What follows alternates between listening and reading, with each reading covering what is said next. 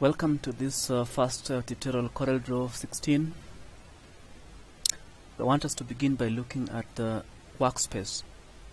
So when you open CorelDRAW 16, the first thing that you see is this quick, quick start screen. If you go through this, it shows you uh, the quick start, which is this one. What's new? Anything new that you can get in CorelDRAW. You go through this to find the new features that have come up after get uh, the previous version of uh, 15 the learning tools you can get all these learning tools.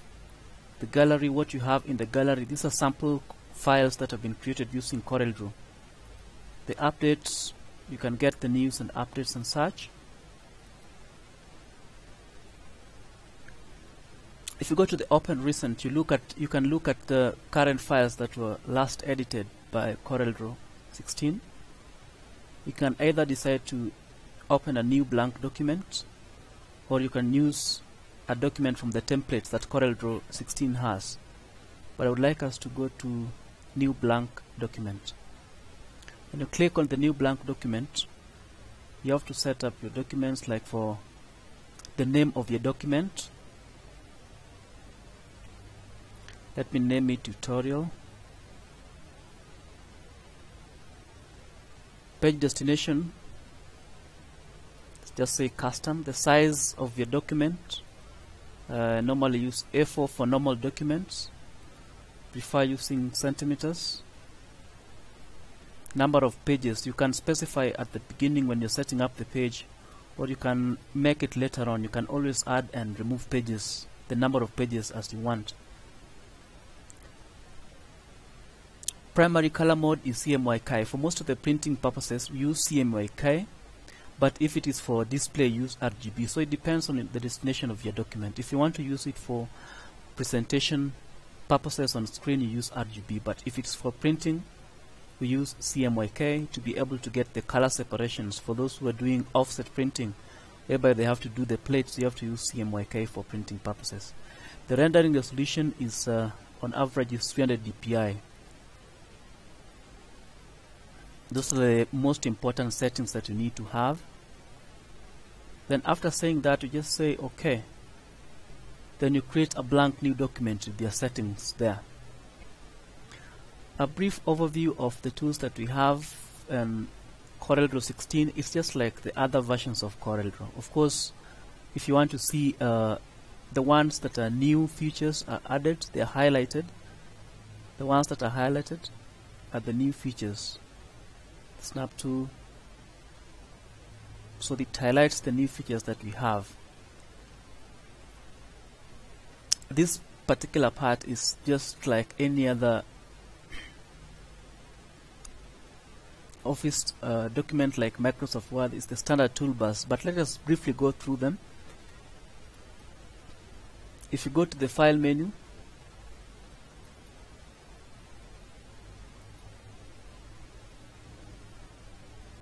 you have new if you want to create a new file new from templates opening open recent open your recent recent documents. You have to close close the current document.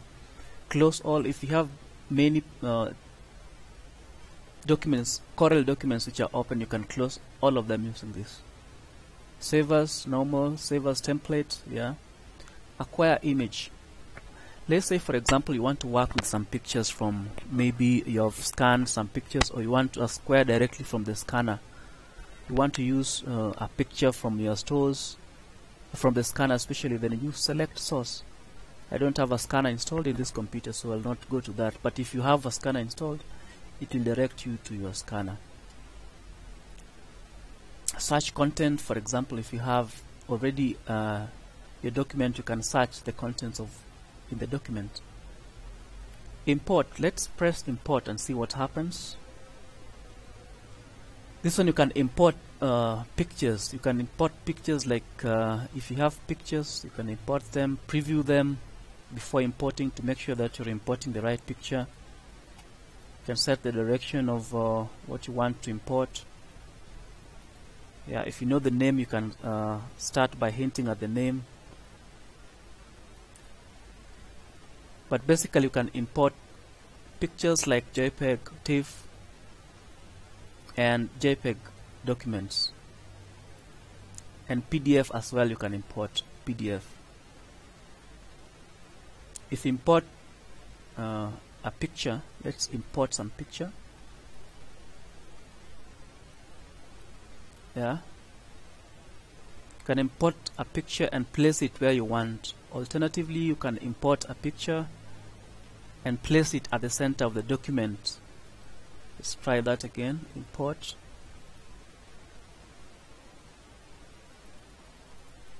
after double clicking on it then you just press enter on the keyboard. Then it will place the picture at the center of that particular page. You can resize it the way you want and such so that is the import command can export of course you can only export whatever you have in your document.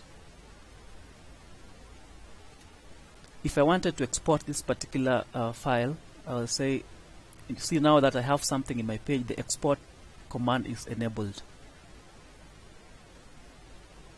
Can export this particular file as all these file types. You can export it as all these file types. So it depends on what kind of export you want. Then you say export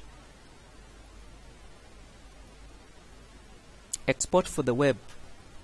Corel 16 has come with a new feature that enables you to export to the web using a light a light but high quality document. If I say export to the web for example if I want to export this particular page to the web it's now optimizes in the GIF 256D that format.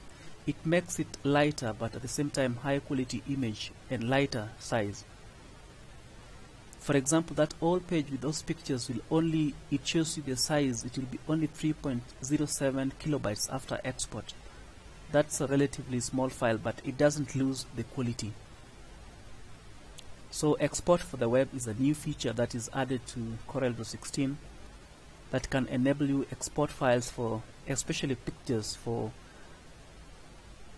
the web in GIF format of course 3.07 kilobytes very small. That's uh, good enough. Export HTML maybe you want to make a HTML document for those who are web programmers. Send to just the normal send to that we have in any other program. Can also print. It depends on what you want to print. Print merge if you want to create a print document. Print preview. Before you do any printing you want to preview whatever you wanted to print so that you can be sure whatever you're going to get is the right thing. You can resize this in in the print preview thing. You can resize it put it wherever you want. Yeah?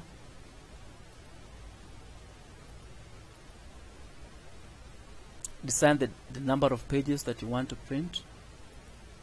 If you want two pages in one like that. If you want four pieces in one just go to imposition layout tool and you select from here. You can show the print marks if you want to. You can show the print marks. You can preview and search. So that is the print preview. You can preview and set at the same place. So that's the print setup. You can set up the printing the page size, the printer you select, whichever, all those. Then there's this new feature which is improved that's collect for output. Collect for output, let's say you're working on a file that you want to send out to a printer. So it collects all the fonts that you have, it collects all the pages that you have, it converts the document into P P very high quality PDF format and such so that you have all that collection in one. It collects all the fonts so that if you take your document to a third-party printer. You won't have any problem. Publish to PDF if you want to publish that document to PDF which is a common document presentation format these days you have several options of saving in uh, your PDF format if you click down here you are given some options archiving CMYK, archiving RGB for editing, for document dis uh, distribution, PDF, prepress, and web. So if you want to export a PDF that you want to uh, send maybe through the web, you use this, it will give you a lighter PDF. For prepress, it will give you the print quality PDF. That is the high quality, almost similar to the original CorelDRAW file. That's uh, the export to PDF format. So that's that's generally what I want us to go through. In the next uh, one, these tools you can always do something as we work with them. We'll get to practice and get to learn more. The next uh, step, we're going to learn about text. How to work with text in Corel 16, just like any other version of Corel.